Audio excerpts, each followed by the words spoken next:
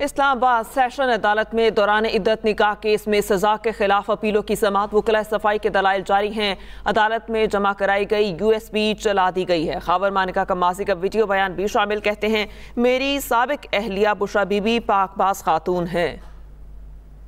इस पर तफसीत जानते हैं फयास महमूद से। जी फयास बताएगा सारी कार्रवाई समात के हवाले से।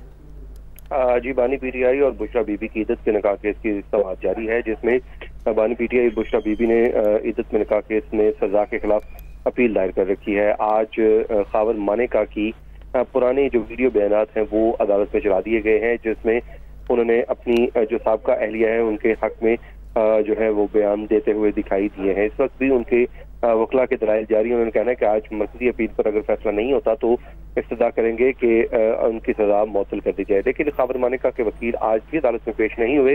तो इस वक्त जो प्रोसिक्यूटर हैं पब्लिक प्रोसिक्यूटर राना हसन, वो दलाइल दे रहे हैं। उन्होंने एतराज़ आयद किया है कि सरकार को इस केस में रियासत को फरीक नहीं बनाया जा सकता था, लेकिन फरीक बना दिया गया। जिस पर सलमान अकबर राजा ने कहा कि सजा सुनाई है तो फरीक तो बनाएँगे। तो जिसके बाद इस वक्त जो केस की समात अभी भी जारी है।